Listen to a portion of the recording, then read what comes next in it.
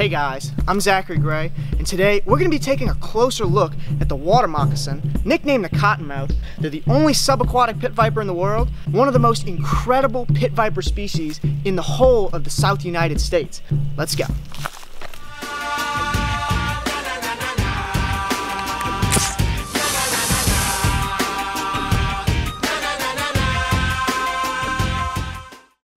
The swamps of South Louisiana are home to a whole stack of different wildlife, many considered to be dangerous to people.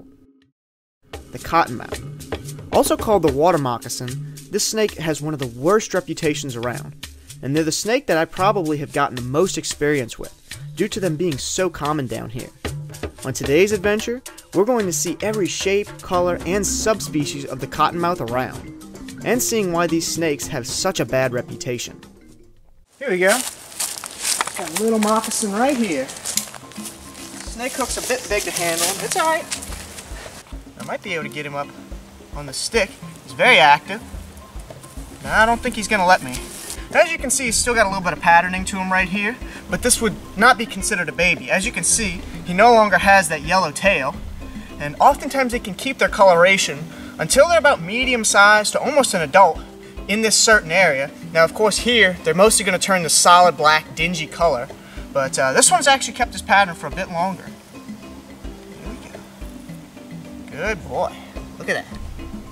All right. Now, water moccasins will kind of range in attitude, but uh, they're all a little bit grumpy. They all don't really like to be messed with, and this one's really quick to get out of my way, but he's not very bitey. He's open. He's only opened his mouth a couple of times, and he's pretty relaxed. They're a very fat-bodied snake, so uh, lifting it up with a stick doesn't really work for the ones that get a little bit bigger, but it works really well with the little ones. He's really cute. They've got this band running right across their eye, and uh, it's a real distinct facial look for a cottonmouth. The only thing I can say that's kind of similar is the copperhead. But very cute little guy, and uh, I'm going to go ahead and move him off the path in a second, and uh, we're going to keep looking for more. Alright, see you, little buddy. Off you get. Boop, boop, boop. Come on, get off the trail. Ooh, moccasin. Oh, he's gorgeous. See a hole right there? Right along this tree. Come here, bud. It's okay. Oh, you're gorgeous. Have a look at you. You've got all your colors, don't you? You've got all your colors. Now, as you can see, this snake isn't a newborn baby. It's a bump smaller than the last one that we filmed, but he's got all his different patterns to him. You're okay. I like to keep him nice and gentle. Look at that. See, he's perfectly calm. This is probably the most docile one that we've found so far. And I just want to show you guys as many moccasins as we can to where you get really good at identifying them. Because uh, as you can see here, they can vary in their color, they can vary in their body structure, and you want to be able to identify every kind that there is. Now this wouldn't be like a subspecies or anything like that, it's just a slightly different coloration. But this slight color change can make it extremely difficult for people to identify them. And have a look at that. He's completely calm now, not trying to get away from me. Obviously, he still wants to get away, but he's not stressed out. No need to stress the snake out. No need for me to pick him up. A snake this small could uh, still envenomate me pretty bad and could potentially kill me. Water moccasins have venom similar to that of a rattlesnake, like a, like a low potency rattlesnake. And these guys can definitely kill people. Alright, buddy. Go ahead and set you down, and we're to let you on your way. Here you go, bud. Back by your tree. With western moccasins, the younger the moccasin, the more banding they'll typically have. And as they get older, those bands fade, and they become a darker black coloration. And in this area, there's some super dark colored ones. So hopefully we'll get a chance to see some of those. We also get lots of non-venomous snakes around here, like water snakes, which look a lot like cottonmouths. If I'm going to get one, I've got to be quick.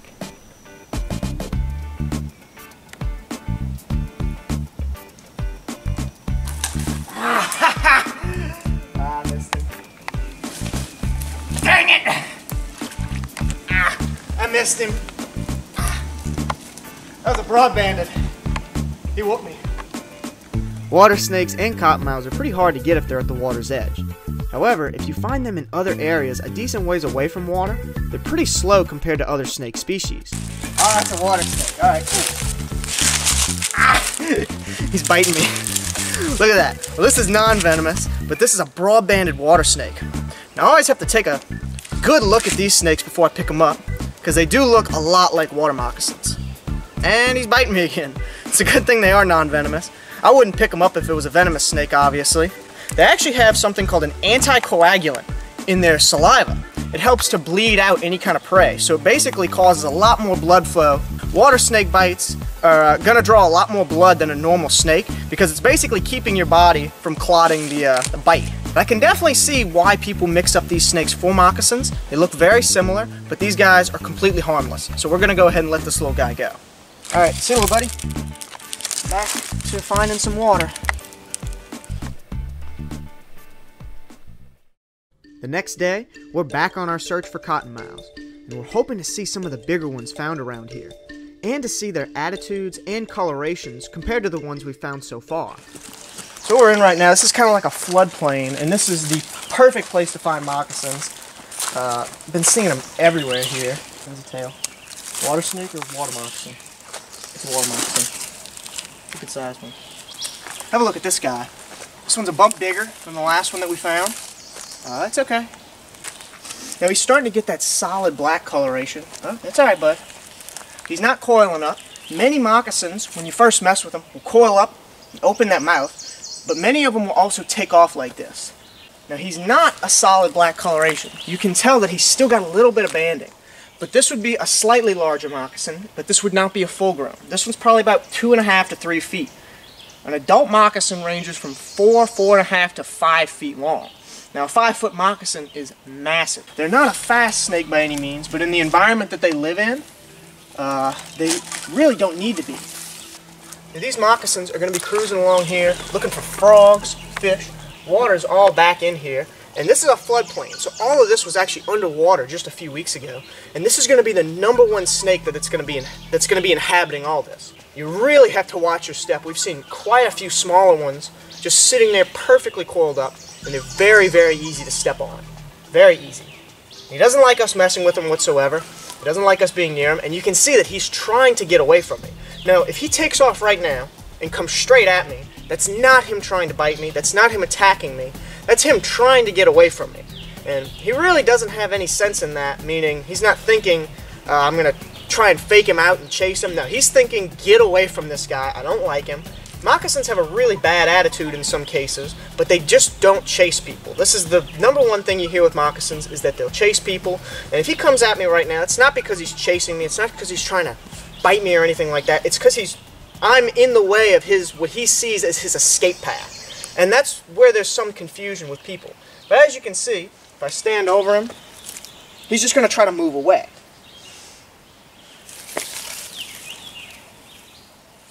Cottonmouths are oftentimes called an aggressive species, but that's not technically true. Like many other pit viper species, cottonmouths will defend themselves by either getting out of your way or curling up with their mouth open. The big difference with water moccasins is they're the best at it, and they know it. Moccasins know they have venom, and they don't want to be killed or eaten, so they coil up when confronted, open their mouth, and shake their tail. If that's not enough to scare their predator away, they'll start crawling away to find water whether the person is in their way or not. Before this video continues anymore, I just want to tell you guys, we now have merch. The link will be in the description, but we have three different shirt designs. This is my favorite one, the rattlesnake design. We also have just a regular Life's Wild Adventures logo, as well as a gator design. So if you like any of those designs and you want to support the channel, please head on down to the link. We have very limited availability right now, so if you do want one, act fast. And it's the best way to support the channel right now, so if you're enjoying this, please go ahead and do that. And with that out of the way, let's get back to the video. Now, it's time to hit the gravel roads, and head towards some areas I've seen some bigger ones hanging out. Cottonmouths will oftentimes be seen crossing roads, and I've seen quite a few in this area in particular. And of course, lots of other snake species will be doing the exact same thing. Is that a rat snake? It's kind of fat. Oh, Sorry, bud. Ow! He made me quick. Normally don't turn around that fast. Whoa! He's not happy. It's alright, this is a non-venomous snake. This is...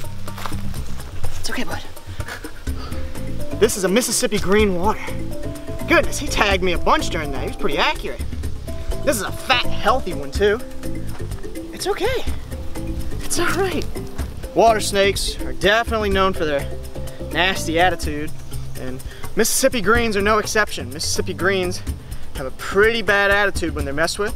However, they are a non-venomous species, and they'll only bite and they only mess with people when you mess with them, when you pick them up like this. See, I'm going and picking him up. You know, he doesn't know that I'm just coming up to him to see him, show him to you guys, and get him off the road. He thinks I'm trying to kill him and eat him. He doesn't really understand the fact that we're not out to get him. So he's trying to defend himself, which perfectly fine, perfectly right, and I get bit by non-venomous snakes all the time. If it's a non-venomous snake, I really don't care. If it's a venomous one, you're not gonna see me handling it, you're not gonna see me getting bit by it. Notice the way he looks at my head. This is something that oftentimes more intelligent snakes will do. Racer snakes, coach whips, and some water snake species will do this, but they aim at the face of their predator. And if you can imagine, if I took a bite to the face right now, that would deter me pretty quickly. In fact, we'd probably finish up our segment a little bit earlier because of that. And he knows that. He knows that the best way to get me to put him down is to bite me on the face somewhere. He also sees my mouth and everything up here that could be deadly to him, something that could bite him. So he's trying to very carefully figure out a way to get me to put him down. And that's what snakes do. This guy has no other defense right now than to musk and bite. Really cool snake, really fat, really healthy. Mississippi greens are one of the less common water snakes in this area specifically. Normally you're gonna get mostly diamondback water snakes and yellow belly water snakes here. So it's cool to see a Mississippi green here. Very angry snake. So we're gonna go ahead and, whoo, almost bit me right there. We're gonna go ahead and get this little guy off the road and keep looking. There's some waterways back here, and that's probably where he was heading to from over here. So we're gonna send him right back in the direction he was going. You always wanna do that with snakes. No, it's okay. Don't bite me. Go, go. Go, go, snake. Water snakes will live in pretty much the same habitats as moccasins, so we knew for a fact that there had to be some close by. But as we followed this little greenie off the road, we got to see just how close. Right there. He's not even taking off. He's just sitting there. Oh my gosh, that's a moccasin. This is what makes this snake so dangerous here in Louisiana. I'm gonna make sure there's no more around because he was camouflage. Hang on, let me get a bigger stick. I can just wrangle him with two. It's all right, bud. It's all right. Come here. Come here, dude. Hello. Have a look at that viper. Woohoo! That is a cottonmouth. This is the most common snake out here. We were just following that little green snake down, getting some last little shots of him, and this moccasin was sitting perfectly coiled up. Nice fat western moccasin, very dark colored. He's gonna stay nice and calm. That stick was terrible. Sticks are a really good way to handle the snake, and they're normally pretty calm. If you're not getting them off the road, they're just sitting coiled up like this, they're gonna be nice and cooled off, this is an incredibly dangerous snake for the exact reasons that you just saw. I walked right up to him and I didn't even see him. Incredible. We were just getting that little greenie off the road. Oh, it's okay. All right, I'm gonna go ahead and put him back, right back where he was. Oh, that stick was awful. All right. Well, there we have it. That's what makes the water moccasin such a dangerous snake. Just getting that little greenie off the road. Almost stepped on him. That's crazy. Cottonmouths in Louisiana are one thing, but what about other parts of the US? On our trip down to Florida, we got a chance to check out the Florida moccasin. This one right here was an absolute whopper, probably around 4 to 4.5 feet in length. You'll notice that these moccasins have a slightly different shaped head, and the even bigger ones keep their banding as they get older. This is also due to them living in cleaner water in this area. Once we got some shots, we moved this one right off the road, but she wasn't too thrilled with being messed with, and she stayed perfectly coiled up, even after we got her back in the water. Later that evening, we got a chance to see a much smaller one that looked more like your typical Florida moccasin. Don't go nowhere, bud. Whoa, it's okay. It's alright. Have a look at this snake. Now you can tell they look quite a bit different. Ooh. It's alright. I need you to stay in the road just for a minute. Now, Florida moccasins look a bit different than ours in Louisiana. They're a completely different subspecies. These snakes get a lot bigger. He's got much cleaner pattern. They've got a narrower head. There's a bunch of differences between these snakes, and they're also a bit more sluggish on land. This snake definitely could put a lot of venom in you. Cottonmouths can be dangerous. They are a dangerous snake. Notice how he's very whippy on land. He's very whippy. Cottonmouths are a very whippy snake in general, but the ones here in Florida are very sluggish on land. And that's because they're very used to the slow moving water. That's how they spend their entire day. So on land, they're just terrible at moving around. Florida moccasins are really interesting. They definitely have some really cool colorations here, but for now, we're just gonna let this guy on his way. Now let's take a look at an eastern cottonmouth we found on our trip to coastal North Carolina. This subspecies is found along the east coast of areas more north of Florida. They share a lot of traits with the Florida moccasins, keeping their patterns more into adulthood. Have a look at this. It's a cottonmouth. This right here is an eastern cottonmouth. Eastern cottonmouths are very much like the western cottonmouth, but they have a lot more banding, a lot more color to them, even as they get bigger. They kind of keep their baby colorations in a sense. Still the same white mouth, fat little snake. Now, they look a little bit more similar to the Florida moccasin than the western, because they do have more of their colors. There are some slight variations to them. If I get bit by this snake, that would be a really, really rough ride. Could even kill you. But uh, they don't have the most potent venom out of all the snakes. You know, it's a pretty halfway decent venom, but it's not super, super potent. Just like all pit vipers, they've got pits right in the front of their face, and they can use that to sense warm-blooded animals. However, they'll also be eating a lot of frogs, uh, other snakes they'll eat out here, and even things like lizards and smaller stuff like that. So they're a really cool snake. I see these guys all the time back home, but uh, this one's a little bit different because it's here in North Carolina. It's an eastern, so very cool snake to see. And uh, we're just gonna leave this guy to uh, crawl off the road. Very cool. See you, buddy. Now back to Louisiana, we're heading to an area where I've seen some of the biggest, gnarliest looking moccasins around, to show that habitat and location play a big role in these snakes' appearance. What's unfortunate is the area that these moccasins live is surrounded by residential areas, and the illegal dumping here draws a lot of these venomous snakes closer to where people live. If you want my best advice for how to keep these snakes out of your yard, don't leave things out for them to hide under. Out here in New Orleans East, there is a lot of junk everywhere, and that attracts snakes. Mostly rattlesnakes and moccasins. Yep, that's about right. Big moccasin. Big old western cotton. Yep, have a look at that. Right under there. This is the most common snake out here. It's kind of morning time-ish, so they're not super active. And I think it's just gonna stay on the hook for me. This is a decent sized one. Not as big as they do get. I've seen them about twice the size out here, but this is a pretty nice sized one. Nub tail, and you can see how dark those colorations are compared to the other moccasins. Western moccasins have a really, really dingy color, mostly for uh, camouflage purposes, because here there's a lot of swamp and stuff rather than leaf litter for them to hide in. Super common, and definitely something to watch out for here. And this is a reason that you're not going to want to litter out in this area, because it attracts snakes. Along these waterways, it brings out canebrakes, it brings out moccasins, and if you don't want these snakes by your house, the best thing to do is keep your yards and your house clean. Literally, that's the best way to keep these snakes away. If you've got cut grass, if you've got no trash laying around, these snakes will not come by your house. And that's the best way to do that. You can also leave king snakes around, which are a big deterrent to these guys. So if you don't want these guys around your house, which most people don't, most people just want to leave them in the swamp. But if you don't want these guys around your house, just make sure that they're not having a lot of places to hide.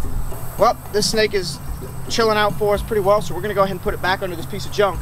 And uh, that's about as good as a moccasin we're gonna find out here in the east. All right, we're gonna put this big western moccasin back under its piece of trash where it lives. There you go. Get under there, you. Go, go. Oh. Good moccasin to finish on. Very nice. Well guys, we really hope you enjoyed this video. We spent a lot of time working on this little mini documentary, and as you can see, there are a lot of different shapes, colors, and subspecies of water moccasins. So we really hope that this helped you be able to identify the snake better. And if you did learn something new about the cottonmouth, make sure to like this video and subscribe for more videos just like this in the future. we will see you guys next time.